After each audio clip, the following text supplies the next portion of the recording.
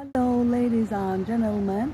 Ever heard someone saying to you, a penny for your thoughts, a penny for your thoughts?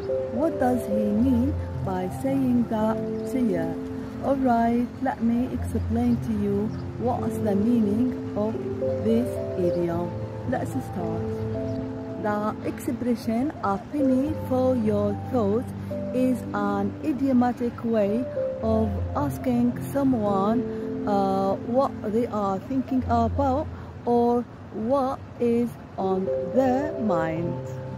It's a figurative way of expressing curiosity about someone's feelings or thoughts.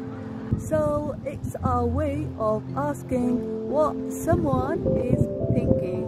Let's take some example sentences. And in the first example, we could say, you look lost in thought, Sarah. A penny for your thoughts.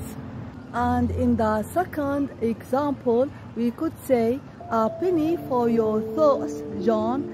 You seem deep in contemplation. And in the third example, we could say, a penny for your thoughts, Mom. Is something on your mind? And in the fourth example, we could say, I noticed you staring out the window. A penny for your thoughts. And in the fifth example, we could say, a penny for your thoughts, dear. Uh, you seem a bit preoccupied today. And in the sixth example, we could say, you've been gazing out of the window uh, with a wistful look for ages. A penny for your thoughts. If you found this video helpful, don't forget to subscribe to my channel for more tips and tutorials on personal development.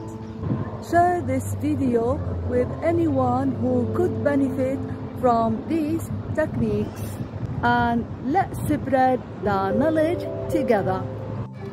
Thanks for watching. Have a nice day. Bye bye.